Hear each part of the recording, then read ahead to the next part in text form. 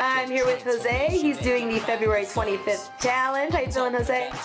Awesome. All right. So the goal is 15 pounds in six weeks. I'll have you go ahead and step on the scale, and we'll get your initial weight. 233.6. I'm here with Jose. He just completed the six-week pick your challenge. How you feeling? Great. Was 233.6. Needs to be at 218.6. Go ahead and step on the scale, Jose. He's at 204.1.